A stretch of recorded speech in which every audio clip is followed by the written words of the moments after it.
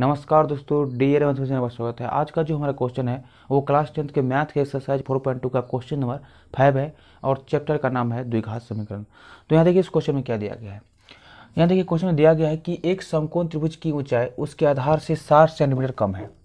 यदि कर्ण तेरह सेंटीमीटर है तो अन्य दो भुजाएँ ज्ञात कीजिए। तो यहाँ देखिए क्वेश्चन में बोला जा रहा है कि एक समकोण त्रिभुज है, जिसका ऊंचाई जो है, उसके आधार से जो है सात सेंटीमीटर कम है। और इसका कर्ण जो है वो तेरह सेंटीमीटर दिया गया है। तो यहाँ पर जो है, जो रिलेशन दिया गया है, उसको लिख लेते हैं कि पी जो है बी से कितना कम है? सात कम है। पी जो है बी से सात कम है। और इसके बाद जो है एच का मान कितना दिया गया है? तो तेरह दिया गया है। तो चलिए इसको हल करते हैं। तो हल माना कि माना कि समकोण त्रिभुज समकोण त्रिभुज त्रिभुज A B C A B C की आधार बराबर आधार बराबर क्या है? तो बी मान लिए हैं। तब जो है, तब जो है इसका ऊंचाई क्या होगा? समकोण त्रिभुज एबीसी का ऊंचाई क्या होगा? तो यहाँ पर जो है हम क्या निकाले हैं? पी बराबर बी माइनस सेवन क्या निकाले हैं? बी माइनस सेवन निकाले हैं। अब इसके बाद जो है, चलिए प्रश्नानुसार। प्रश्नानुसार। प्रश्नानुसार क्या होगा?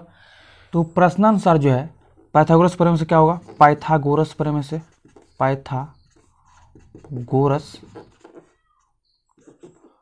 पाइथागोरस प्रमेय से प्रमेय से। क्या होगा?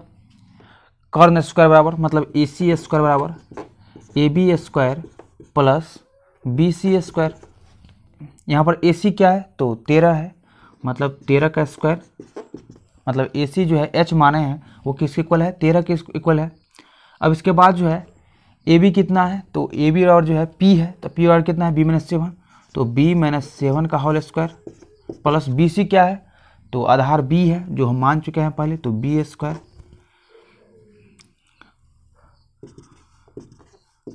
अब इसके बाद जो क्या होगा? तेरह का स्क्वायर कितना होता है? एक सौ उनहत्तर। बराबर।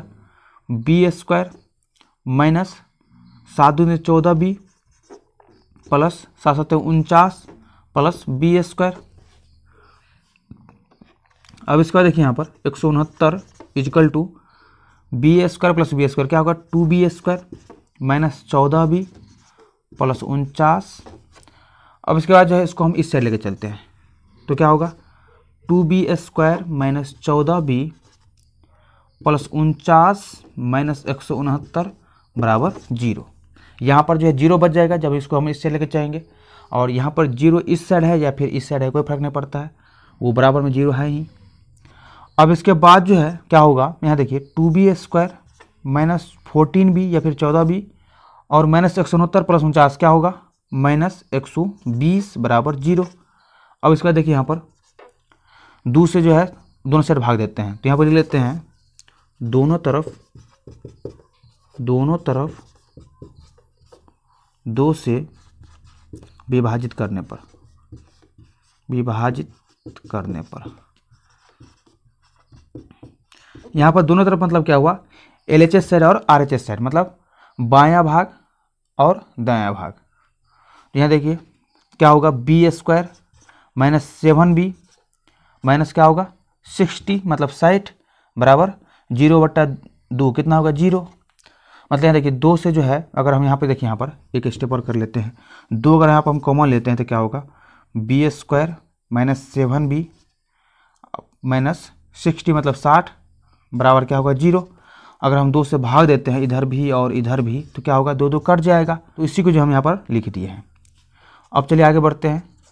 अब चलिए इसके बाद जो है इसको हम गुणनखंड मेथड से तोड़ते हैं। तो क्या होगा? यहाँ देखिए, गुणनखंड मेथड होता क्या है कि साठ और इसको मल्टीप्लाई किया जाता है। मतलब अचर टर्म और एक्स स्क्वायर के जो कोफिशियंट है या फिर गुणांक है, उससे जो है गुना किया जाता है। तो गुना करते हैं साठ गुने एक बराबर क्या होगा? सिक्सटी अब इसके बाद जो है क्या किया जाता है? एलसीएम लिया जाता है। तो एलसीएम लेते हैं। दो से कितना होगा? थर्टी। फिर दो से कितना होगा? फिफ्टीन। मतलब पंद्रह। फिर तीन पंचे पंद्रह। अब देखिए यहाँ पर हमें लाना कितना है? सेवन भी लाना है। कैसे? तो घटा के। तो यहाँ देखिए क्या होगा? तीन दुना छः दुना बारह, और बारह में से अगर पाँच किया तो कितना बचेगा? सात। तो क्या होगा? बी स्क्वायर माइनस, जैसे कि हम पहले ही बोल चुके हैं कि यहाँ पर अगर घटाओ है तो मतलब घटा के जो है कितना लाना है? सेवन बी लाना है। यहाँ पर करना क्या है आपको? बारह बी माइनस पाँच बी माइनस सिक्सटी बराबर ज़ीरो, बारह पंचे साठ गुना करके आ रहा है। अब देखिए यहाँ पर जो है क्या होगा?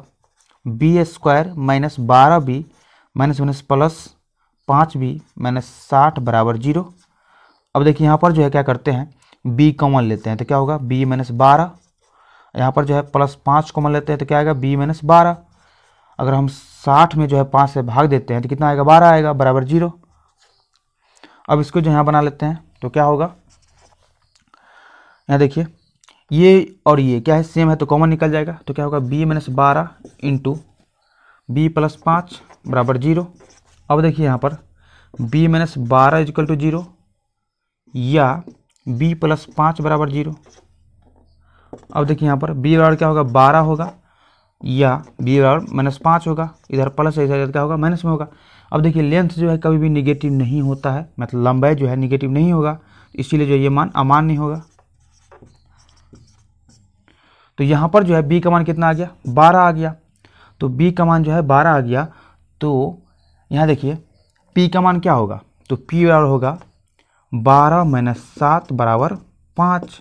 तो यहाँ पर जो है बी का मान बारह है और पी का मान पाँच है। तो यहाँ पर लिख देते हैं, अतः